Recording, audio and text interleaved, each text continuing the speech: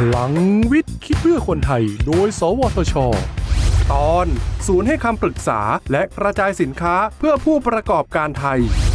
ในอดีตที่ผ่านมาประเทศไทย ต้องพึ่งพาการนำเข้าเทคโนโลยีจากต่างชาติเป็นส่วนใหญ่ ส่งผลกระทบทางเศรษฐกิจโดยรวมของประเทศครับ ภาครัฐจึงมีนโยบายส่งเสริมให้นักวิจัย และผู้ประกอบการไทย สามารถคิดค้น และผลิตนวัตกรรมขึ้นมาใช้เองได้ภายในประเทศ แต่ผู้ประกอบการไทยหลายรายยังพบปัญหาและอุปสรรค ซึ่งตอนนี้เรามีศูนย์ให้คำปรึกษา และกระจายสินค้ามาช่วยแล้วนะครับ สวทช ร่วมกับผู้ประกอบการไทยจัดตั้งศูนย์ให้คำปรึกษาและกระจายสินค้า หรือ Innovation Network Center ขึ้น เพื่อสนับสนุนงานวิจัย และให้คำปรึกษาผู้ประกอบการ ช่วยเหลือการทำตลาดแบบเครือข่าย รวมทั้งให้คำปรึกษากับผู้ประกอบการและนักวิจัย ที่มีผลงานวิจัย และต้องการนำผลงานวิจัยนั้นผลิตออกสู่เชิงพาณิชย์ ผู้ประกอบการที่มีผลงานวิจัย สามารถทำการผลิตสินค้าที่มีมาตรฐาน ได้รับการรับรองมาตรฐานสินค้า จากหน่วยงานภาครัฐ และขึ้นบัญชีสินค้านวัตกรรมไทยนำออกมาจำหน่ายได้จริง และประสบความสำเร็จลดการนำเข้าสินค้าจากต่างประเทศ เกิดการจ้างงานจากบริษัทที่จดทะเบียนเพิ่มขึ้น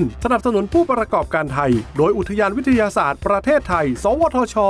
30 ปี สวทช พัฒนาประเทศก้าวไกล ด้วยงานวิจัย เทคโนโลยี และนวัตกรรม สอบถามรายละเอียดเพิ่มเติมได้ที่ 02 564 8000